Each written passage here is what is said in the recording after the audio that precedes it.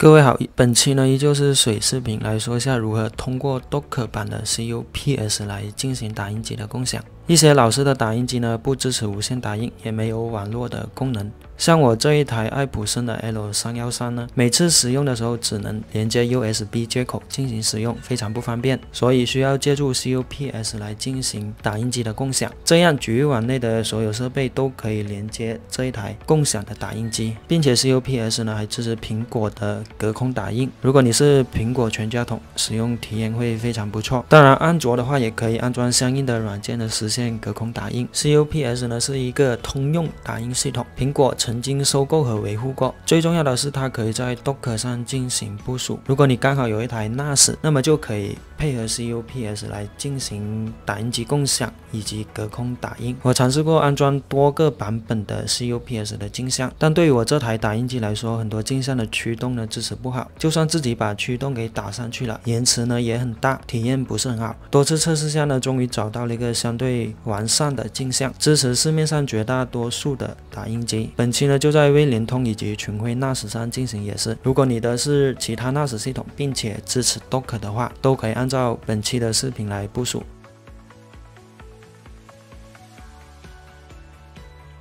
好的，在开始前呢，首先来说一下群晖目前依然自带支持的打印机共享服务。首先将你的打印机连接到群晖的 USB 接口上。我目前的这个系统呢是六点二点三，你可以找到这里的外接设备有个打印机。当你点击进去之后呢，你就会看到有连接成功的状态。你可以点击打印机管理，设置打印机。这里的话就默认设置网络打印机就可以了。如果你有扫描啊其他功能的话，可以选择第二个。这里有一个启用苹果的无线。打印也就是隔空打印，前提是呢，你接入的这一台打印机呢，群晖自带有这一个驱动。像我这一台爱普生 L 三幺零呢，在这一个列表中就找不到这个驱动，所以这个无线打印就没办法用了，只能默认使用它的网络打印机。所以说，如果你的打印机在这里有这个驱动的话，那么直接点击就可以了。那么你就完成了网络的共享以及隔空打印的设置，那你就不用再费心去安装这个 CUPS 这些东西了。那么这里添加的怎么去添加这个共享打印机呢？连接上去之后，然后安装这个群晖助手，点击打印机设备新增，然后这里就会发现已连接在 NAS 上的。这台打印机，选择下一步，然后这里会让你选择你的打印机的型号。最好的话是将你打印机的驱动先安装完成之后，再在这里进行添加，然后下一步就完成了添加，这里就不再赘述了。如果你是苹果笔记本，打开这个系统偏好设置，找到打印机与扫描仪，然后点击添加打印机或扫描仪。通过群晖系统自带的打印呢，它这里会有一个 USB Print。就是点击这一个，然后选择你的驱动就可以了。当然，前提是安装了你打印机的驱动，这里就可以选，然后选择添加就可以了。当然，还有一个前提呢，你是需要开启苹果的这一个 B O N J O U R 这个服务搜索就可以了。在高级设置里，将这个启用 B O N 的这个服务发现打勾确定就可以了。好的，这个就是群晖自带的系统内置打印机服务的设置。当然，本期我们的重点呢是安装这个 CUPS 打印服务器。这个打印服务器呢支持的打印机的型号呢更加多，只要你的 NAS 支持这一个 Docker 都是可以的。像微联通就是 Container Station 没有安装这个的话，可以在 APP 中心安装。群晖的话也是在这一个套件中心安装这个 Docker 就可以了。可以说，只要你的 NAS 支持 Docker，都是可以部署这个 CUPS 来进行打印机的共享以及使用它的隔空打印。在苹果全家桶上呢，使用这个隔空的无线打印呢，效果呢非常不错。这样我们就可以把普通的不支持远程打印或者无线打印的打印机呢，把它变得更加智能、共享，以及可以实现无线打印的功能。好的，下面进入这一个安装 CUPS 的正式过程。首先呢，本期我会在微联通以及群晖上面来演示一下它的安装以及部署的过程。首先，不管你是微联通还是群晖。首先要开启这个 SSH 和这个 BON 的这一个服务。像群晖的话，你可以打开控制面板，直接搜索 BON，然后找到这个高级设置，把这个服务发现打勾应用，然后再搜索这个 SSH，将这个启用的。功能应用打开就可以了。然后微联通的话也是一样，找到控制台，然后搜索这一个服务，这里有个服务发现，把这一个启用 BON 的服务打勾应用就可以了。然后再次搜索 SSH，然后把这个允许打勾，然后应用。第二步呢，我们就是配置这一个 CUPS 的安装命令。其实群晖版和微联通版的这个安装命令呢，它是一样的，区别呢只是这两个映射路径的不相同。在配置这个安装命令前，首先来看一下我们本期使用到的这个 Docker 镜像。我使用的 Docker 镜像呢是 YDKN CUPS 这一个镜像，可以看到它更新的日期呢是四天以前，说明呢它一直是在维护中的。维护之中的好处是什么呢？你可以搜索这个 CUPS，这里的话选择最近的更新，有人维护，自然它的热度就高，自然它支持的打印机型号以及驱动就多。你可以看到这里有个一百万加以上的下载，就是这个 YDKN 的 CUPS，它支持的是叉八六架构的。这里呢，它自己也有提示怎么去安装。那么的话，我们就使用这一个镜像来进行安装命令的配置。首先的话，我来说一下微联通安装 CUPS 的命令配置吧。首先要安装 Container Station，也就是 Docker，然后在 Docker 中依次新建这几个文件夹，返回你微联通的管理后台，找到这个文件总管，找到 Container 这个文件夹，在你安装 Docker 之后呢，这一个文件夹肯定是会有的。然后新建一个文件夹，就新建 CUPS 的文件夹吧，选择确定就可以了。我这里已经新建好这个文件夹，然后点击进去，然后再在这个 CUPS 文件夹中依次新建这两个文件夹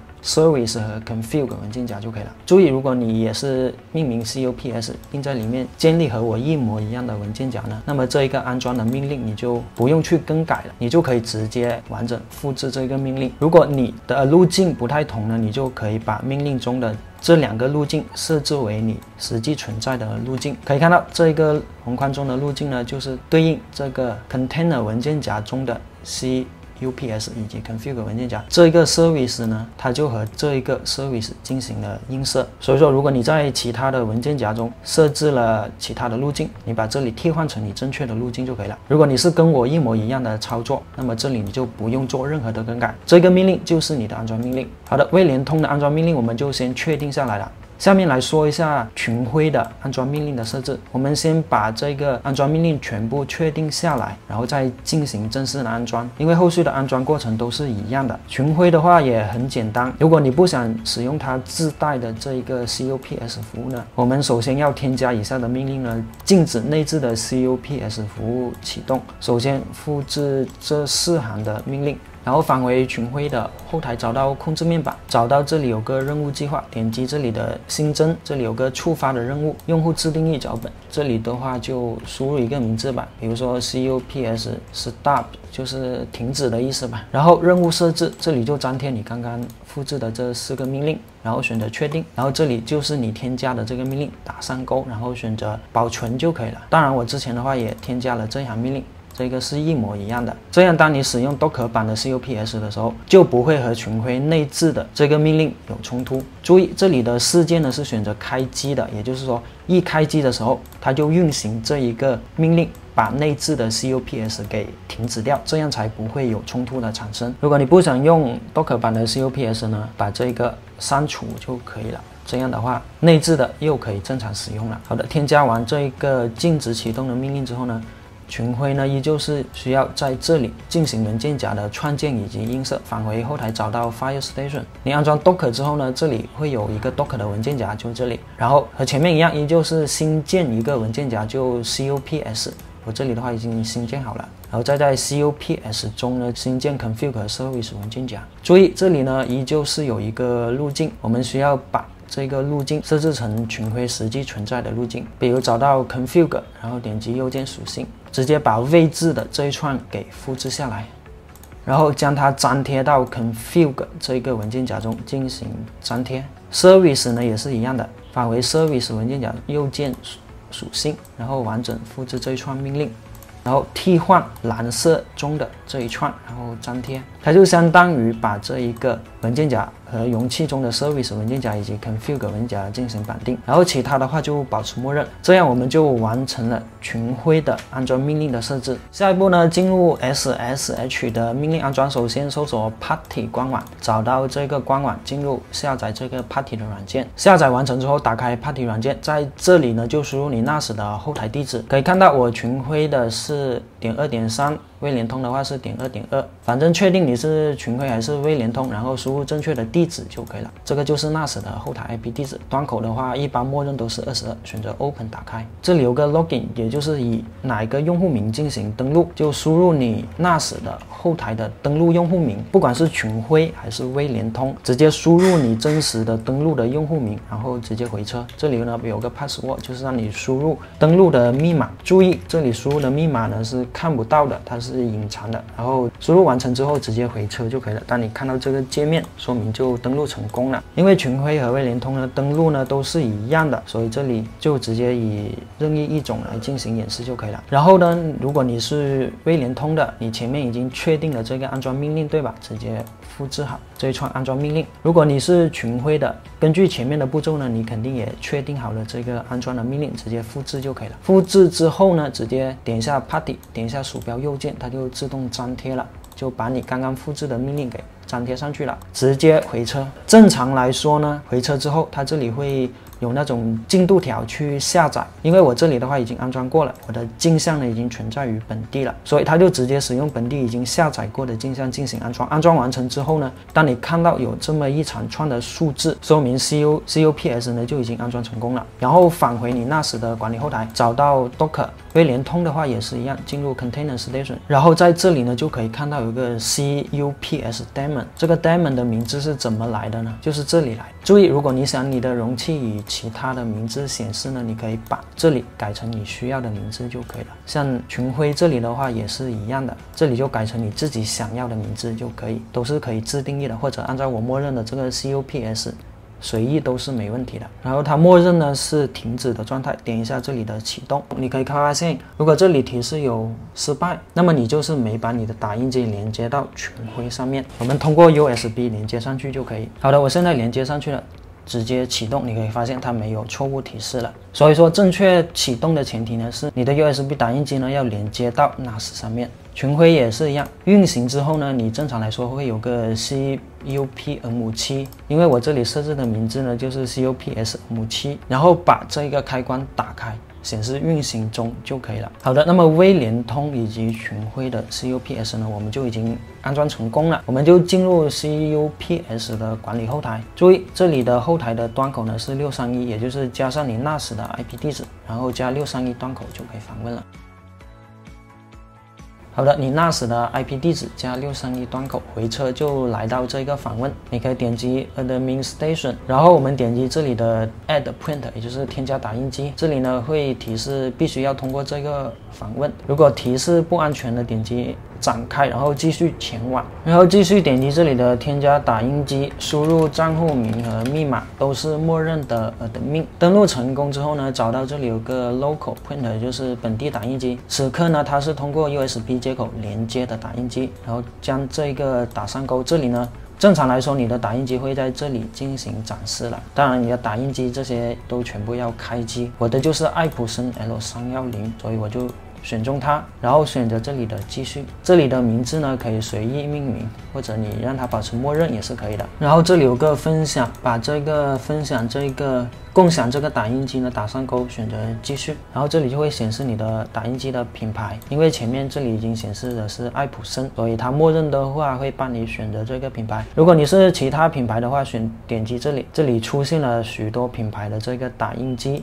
然后选中你的品牌，选择确定。可以说这个镜像的支持的绝大部分的打印机的，所以你不用担心驱动的问题。像我这个呢是 L 三幺零，对吧？那么你可以 Ctrl 加 F，在右上角进行 L 三幺零的搜索，或者你可以拉这里进行查找。可以看到我的 L 三幺零呢型号呢就在这里。选中你的打印机的型号，选择添加打印机。然后这里的话可以保持默认，这里就设置默认的选项。当你看到这里有个 Successful 呢，说明就添加成功了。点击这里的 Print 打印机管理，然后你看到 IDLE 这里就是空闲状态，没有其他任何提示的话，说明就打印机就成功进行驱动了。然后点击这里的 Create Name 打印机的名字，这里呢你可以打印这个测试页，或者说更改打印机、删除打印机或者重新修改默认的选项啊之类的。这里的话，我们选择这一个 Print Test 的配置，也就是打印一个测试页页。你看这里有个打印的状态，然后你发现这个打印机呢就正常运作了。这个测试页只要打印成功，说明你就已经配置成功了。反正打印出来是这个样子的，它的测试页。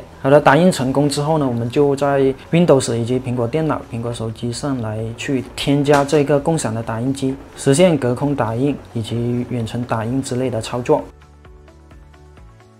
首先来说一下 Windows 怎么添加。首先点击 Print，然后点击这里的名字，这里有个地址栏，对吗？我们复制这个地址栏进行打印机的添加。进入你电脑的控制面板，找到设备和打印机，这里有一个添加打印机，点击这里的我所需的打印机未列出，然后这里的话可以按名称选择共享的打印机。注意这里有个 HTTPS，如果是 HTTPS，把这个 S 删掉，如果有 S 的话会连接不成功。这里的地址和这里的地址是一样的，区别呢只是他们少了一个 S，然后。选择这里的下一页，这里它就成功识别了。然后这里有一个 L 三幺零的型号的显示。当然，前提是呢，你最好是先把你的打印机驱动给安装上去，这样添加的时候呢，它就可以直接识别这个驱动。然后选择确定，这里会显示正在连接。然后已成功添加，然后选择下一页，然后你可以打印一个测试页。这里提示呢，已将测试页发送到打印机，依旧是返回你的打印机，你就可以看到成功的打印了这个测试页。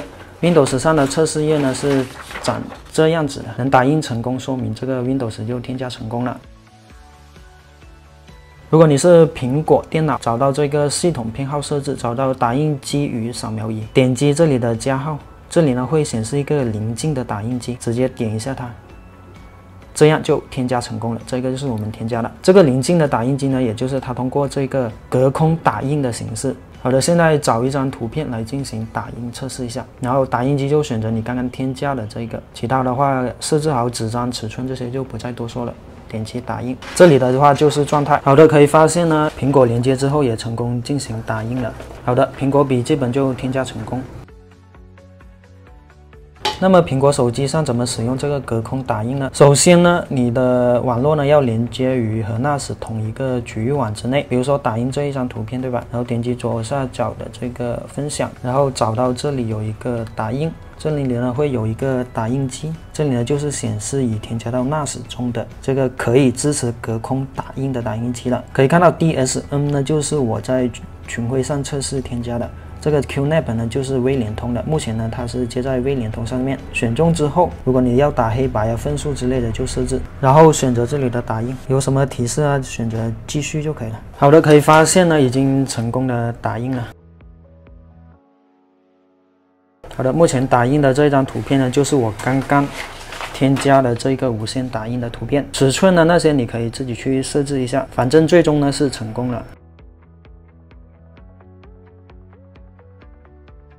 好的，通过这里的演示呢，我们就在群晖以及微联通上面成功安装了这个 COPS，完成了共享的打印机，就把我们普通的打印机呢变成可以支持共享以及支持苹果的隔空投送啊之类的，这样你在家里的任意一台电脑呢都可以通过这个网络直接连接到这一个打印机。就不用在每台电脑上切换这个 USB 的接口啊之类的，非常麻烦。需要注意的是，我建议是使用这一个 COPS 的镜像，因为这个镜像呢一直有人维护。像我之前的话使用的是这一个镜像，你可以看到它是在五年前更新的，许多的驱动它已经不支持了。像这种呢一直在维护更新中的，它的驱动呢就非常完善。不管是市面上新的打印机啊出现之后呢，它都会帮你去匹配好这一个驱动，就不用自己去手动安装。手动安装这个 CUPS 的驱动呢非常麻烦。当然这些服务呢已经开启了。自动启动，也就是说，不管你在不管你是重启还是重新对 NAS 进行开机，这个 CUPS 服务呢都会自动运行，就不用你去手动的去打开，这样的体验呢就会非常好。好的，那 NAS 的打印机的共享的服务呢就是这样。如果你是安瑞的或非 NAS 或其他等等的那是那么你可以打开这个 Docker，然后通过 SSH 的形式呢进行安装，也是一样可以实现打印机的共享的。这里的话就不再多说了。好的，本期。就到此结束，感谢大家。